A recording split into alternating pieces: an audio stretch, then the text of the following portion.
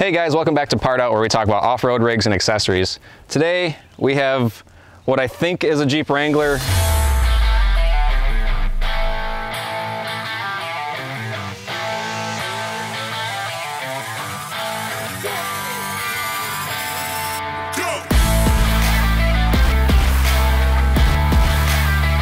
Uh, it's a it's a Jeep truck. It's half Ford, half Chevy, half Dodge, half Jeep. I like Um, that math. Yeah, it adds up. in Yeah. the end. Got Ace Engineering Stinger bumper, uh, one of their first models. Got 04 Super Duty front axle, 45 inch Interco um, Super Swamper TSL 2s. They're excellent. They grip the rocks great. I'm 6'3", if you want a reference.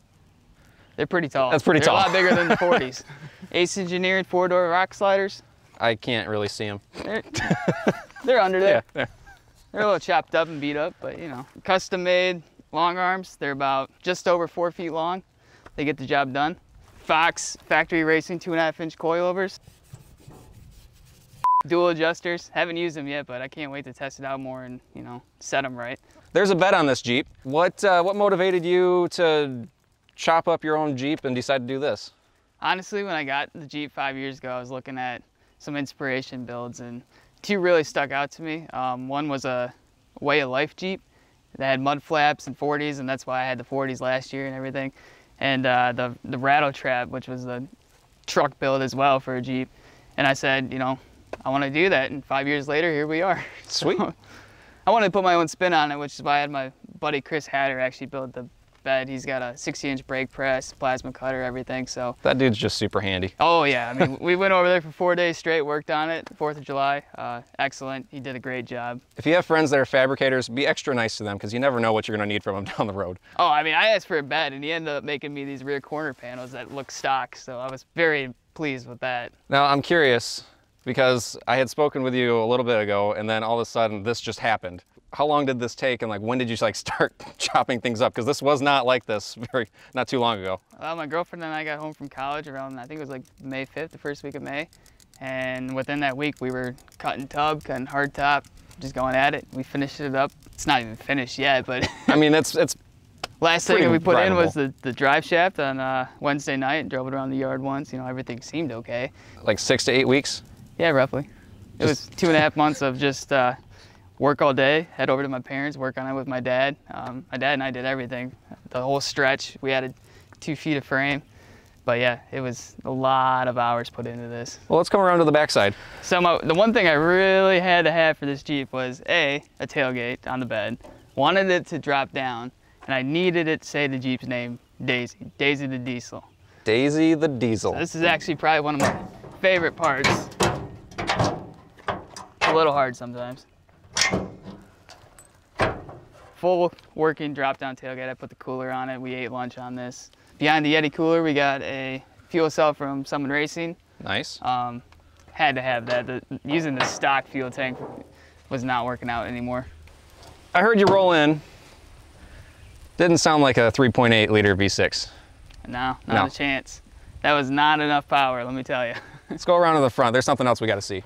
This is probably my favorite part. It's got the Cummins 4BT straight out of a Frito-Lay bread truck. Hence the name and why most of us pick on you for running bread.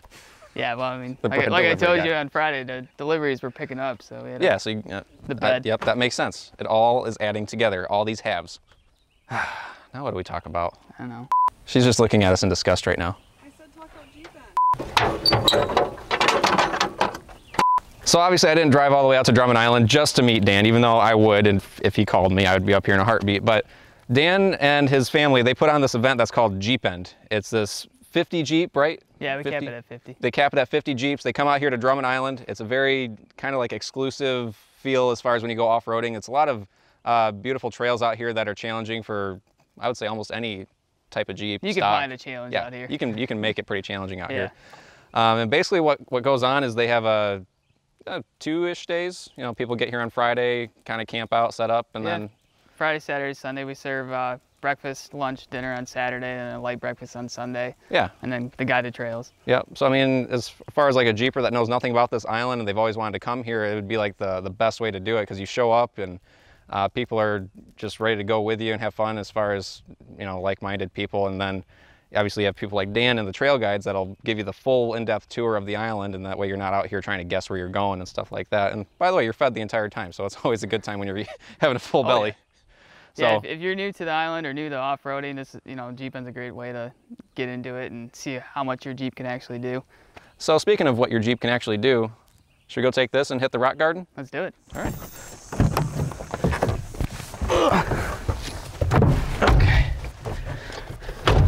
Just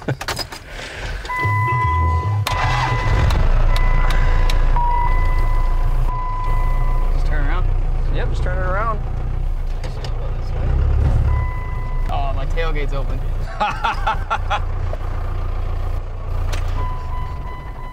Might have to redo that. We're off to a great start. Your seatbelts not work? Nope. Awesome. Right.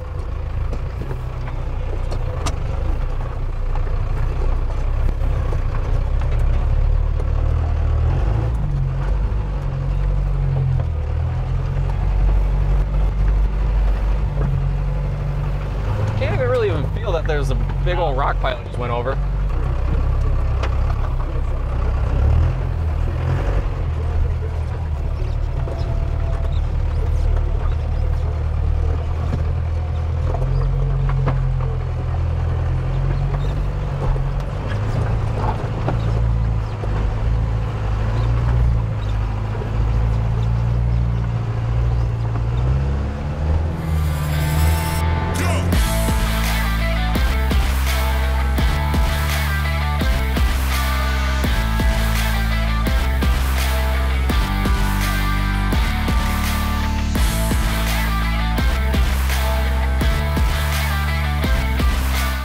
Okay, so for interior wise, what do we have going on in here? Uh, I got the GPS because I do not have a speedometer whatsoever in this That- dash. The whole dash doesn't even work anymore. That I did notice that when you were flooring it, there was nothing happening. We ripped the computer out. Uh, originally, the only thing that worked was the fuel gauge, but now that I'm on the fuel cell in the rear, we got rid of the stock tank, so no more of that. Uh, so GPS is for that. Then I got the GSMR radio because we were just testing this out this year. Um, Has it seemed- worked? Oh yeah. I mean, we were getting. I mean, if you're higher up, you're getting probably three or four miles. Um, and we only had three people with them, so as soon as we get all our trail guides with the GSMR, their base stations, uh, it'll be no problem. We'll be able to talk from, you know, our event headquarters to Marblehead, Shell Beach, you name it. Gotcha. Uh, moving over, I got my boost gauge, got my exhaust temp gauge, and I got my oil, oil pressure. Down below here in the center console, I've got the engine temp. Um, That's a good spot to look for engine temp. yeah, yeah. Uh, right now, none of it works because we messed up a ground somewhere, and Oh. so it's all just you know flickering. But as far as uh, dash, that's about it. Up top, got my starter switch, the switch for the GSMR radio, or sorry, that's the radiator fan. Then the GSMR radio, Okay. and then the CB radio, and in the center is my battery gauge. Because in the back, I got dual batteries with a solenoid, so it charges my starting battery only when the key's turned. Okay. It works out good. That, yeah, that works out. If you ever get stranded, you don't have to worry because that battery that for starting never gets used except for starting. And then the other thing that's unique about this Jeep is originally it was an auto and now it's a manual. Way better. Because of bread truck reasons. Is Oh, that the same shifter out of that truck? No, I No? ordered this oh, one. Oh, okay. I forget where from, but yeah, we had to pretty much rip out this front panel here and then push the transmission forward because that's where it lined up with the engine. Okay. It Does- worked. Does know? the AC work? Oh, That's why we have the windows down and why Yeah. I'm sweating. There's been a few, yeah.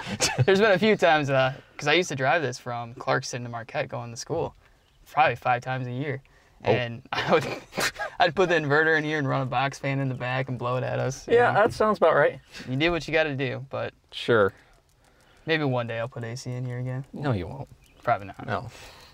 Well, Dan, thanks for showing me your Jeep. Thanks for coming up and visiting me. It's been a while since we chatted, so What? What? Only like a few weeks? well, yeah, but I haven't seen you in person. I know. We. It's been a long time. Anyways, thanks everyone for tuning in. If you want to see some more about this Jeep, shoot us some messages or uh, comment down below. We'll be happy to answer more questions and possibly shoot some more video on this thing. Uh, for right now, go ahead and hit that subscribe button. We'll see you guys next time. Thanks.